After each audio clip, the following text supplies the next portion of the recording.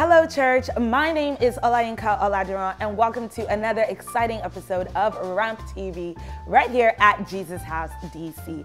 I am super excited for this week's announcement, but before that, I want you guys to go ahead and say a huge congratulations to your neighbors because you guys are hours away from 2018. Don't worry, I'll wait. Okay, guys.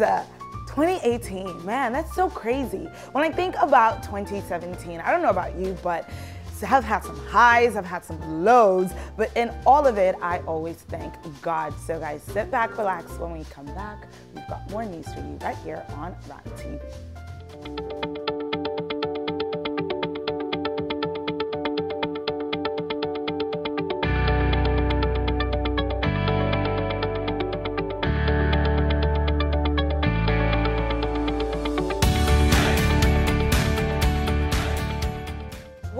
Back to RhampTV. Now, when I think about 2017, it's no secret. It was a little bit harder on some of us than others. But the important thing to remember is whenever you're going through a hard time, you always have your family right here at church to support you. So the Visitation and Care Department of Jesus House DC is here for anyone that may have experienced any sickness or even lost a loved one. All you have to do is contact the church office. Call them, let them know the situation, and they'll have someone come to you, whether you're at the hospital, at your home. Somebody will be there holding your hand every step of the way. Just contact the information below, and you'll have a helping hand, a neighbor, and a loving partnership in God right by your side.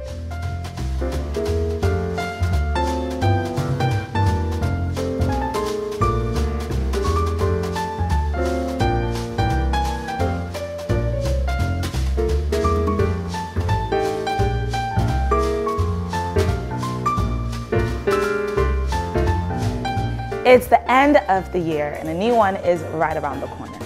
Now it's time for reflection. I'm thinking, did I make all the right decisions? Did I do all the right things?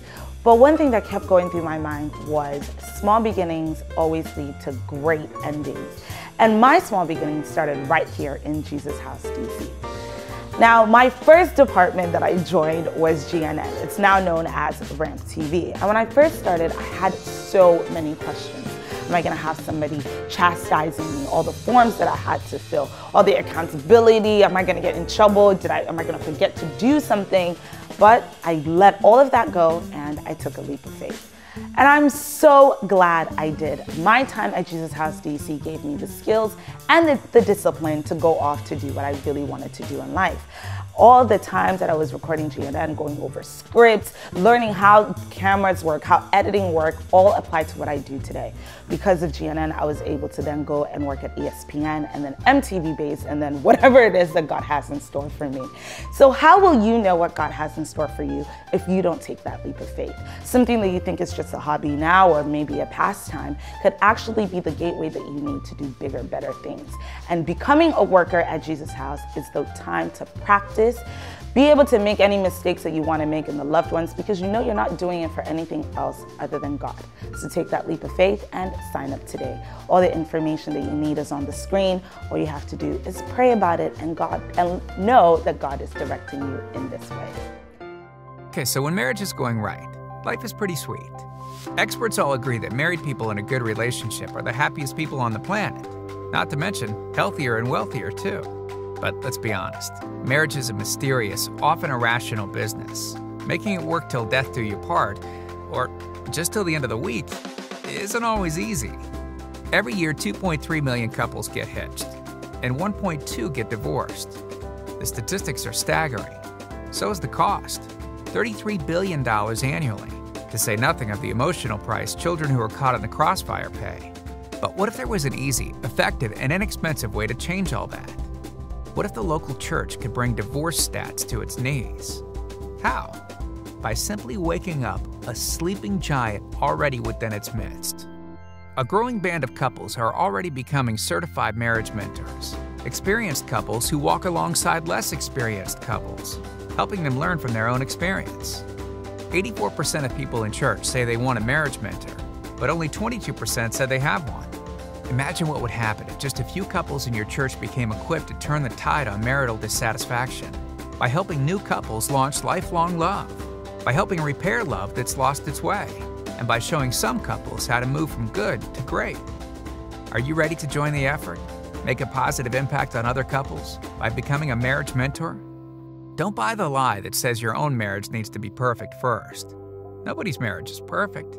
And besides, a recent poll revealed that 91% of couples want marriage mentors who had grappled with issues. So my mom always says, Ileoko ni ileoko. Yeah, I know, my is a little bit rusty. But basically all it means is the marriage house, it's like the educational house, right? So that got me thinking, wouldn't it be cool if you had somebody to kind of hold your hand every single step of the way? Like the buddy system that we had back in high school or middle school. Well, the Marriage Ministries of Jesus House DC has started the Marriage Buddies. Now, the whole idea behind the program is to have people that have been married for at least five years to help newly married couples. Now I know when you just got married, you don't really want to say, hey, I need help, hey, I'm drowning. But what better place to get help than right here at your church in Jesus House DC? So please, begging you, take advantage of the information on the screen and contact the numbers and let them know, hey, this sounds like a good place. I know what it's like to be married for over five years, and I would like to help those coming behind. Now, for as long as I can remember, I've always been a curious little girl. There is never anything anyone could tell me and I wouldn't ask why, what, where. Now, my mom, she hated it. there was never anything she could tell me to do. Wash the dishes. Why? Uh, clean your room. Why? I want you to do this. But why? Every single thing was a question. Now, when it comes to your parents, that could be kind of annoying. But when it comes to things like your Christianity, well, those questions are a pivotal moment of your journey. I remember when I first did Alpha, I had a bajillion questions and I would always question everything. Now, no offense, Pastor G, I know you know your stuff, but sometimes I'd be like, why is he saying what he's saying? Is he sure? Does he know? How does he know? Well, if you have all these questions and more, then the Alpha course is the right place for you. And since it's going to be a new year, why not there be a new you as well? Discover your Christianity in a whole new way.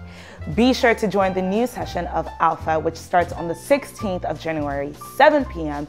at the church basement. And if the questions that are going to be answered aren't enough, let's talk about the food. Now, y'all know a girl can eat, and there will be lots of food, lots to drink, and lots of great people to have this type of important conversation with. So I hope you guys join the new course of Alpha. So much is happening at Jesus House, so make sure that if any of these messages are applicable to you, take the opportunity now.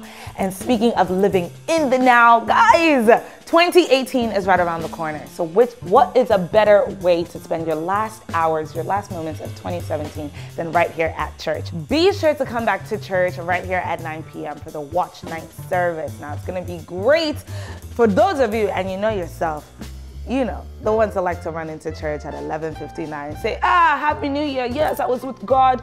Don't be like that. It's a 2018. Try to try something new. So, one thing you can do that's new is to be here on time. 9 p.m. The service is going to start. It's going to be a powerful message for you that's going to propel you into your 2018 and set you up for success. Well, guys, it has been a wonderful time catching up and letting you guys know all the exciting things that's happening right here in Jesus House, DC. My name is Olayinka Oladora, and I will see you guys next year in 2018.